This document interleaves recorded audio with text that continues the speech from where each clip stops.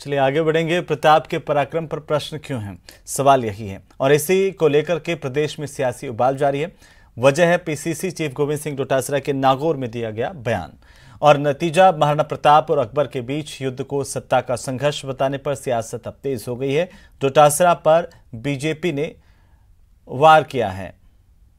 लेकिन वो भी हम आपको सुनाएँगे, लेकिन आखिर गोविंद सिंह डोटासरा ने नागौर में क्या कुछ कहा था वो आप सुनिए।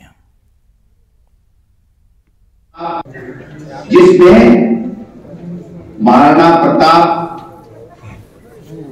और अकबर के बीच के युद्ध को धार्मिक युद्ध बता दिया। क्या हिंदू और मुसलमानों की लड़ाई थी। अरे भाई, सत्ता का संघर्ष था।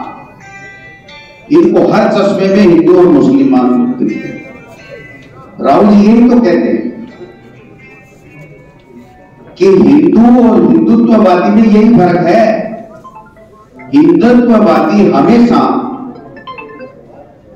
दो धर्मों के लोगों को लड़ाने में विश्वास करता है, आपस में नफरत फैलाता है, झूठ बोलता है, और कुछ नहीं होते हुए भी अकड़ के चलता है।